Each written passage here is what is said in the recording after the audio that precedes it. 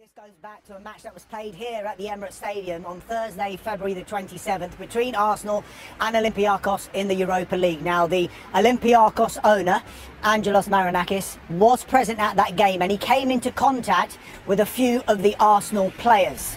Now, yesterday, as you mentioned, Marinakis then revealed that he had contracted the coronavirus. We've since learnt today that some of the contact that was made between the Arsenal players and Marinakis was not prolonged. But because one of the Arsenal players did shake hands with Marinakis, Arsenal have now adhered to the contact pr principle as laid out by the government. It should just be worth reminding what that contact principle is. So basically, the players who came into contact with Marinakis and four of the Arsenal staff who were sat near Marinakis on the night of the match went into a self-isolation period for 14 days. Now that self-isolation period started on the day of the contact.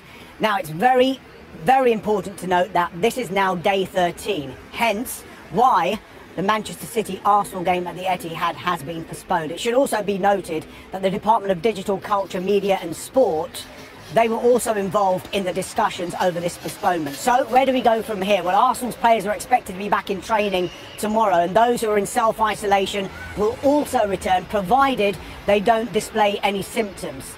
Here's where it gets very important because Arsenal actually haven't tested any of their players for coronavirus, but significantly that will change in the unlikely event that symptoms are displayed. They do, though, continue to follow government advice as far as the coronavirus outbreak is concerned.